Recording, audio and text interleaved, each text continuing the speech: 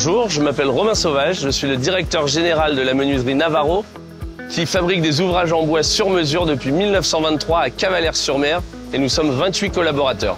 On a mis en place cette démarche il y a déjà quelques années. On s'était rendu compte avec nos collaborateurs qu'on avait un peu trop de poussière fine euh, suite à l'utilisation des outils électroportatifs dans l'atelier. Et il nous paraissait important d'améliorer les conditions de travail. On s'est tourné vers la CARSAT parce qu'on savait qu'ils étaient habitués à accompagner les entreprises sur ce type de problématiques. Et grâce à l'accompagnement technique et financier de la CARSAT, on a pu installer un coffret multi-énergie connecté à une centrale d'aspiration haute dépression ce qui a véritablement amélioré l'air ambiant pour le, travail des collaborateurs. Alors avant, nous utilisions un aspirateur, tout simplement un module d'aspirateur qui était couplé à une ponceuse orbitale que nous branchons sur le secteur. Donc ça faisait un encombrement par rapport à notre, euh, notre lieu de travail puisque nous avons tendance à tourner autour de nos ouvrages et avec ce système, le câble sans mêler, on se prenait les pieds dedans.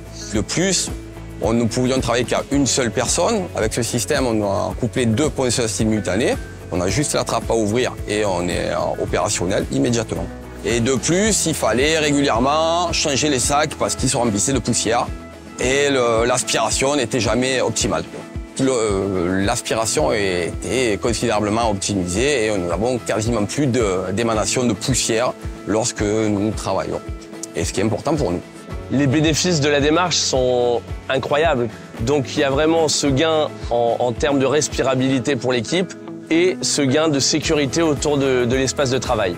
Pour la suite, on va rester évidemment à l'écoute de nos collaborateurs, de leur remontée pour travailler sur d'autres axes d'amélioration et ainsi rester une société leader après 100 ans d'existence dans le golfe de Saint-Tropez.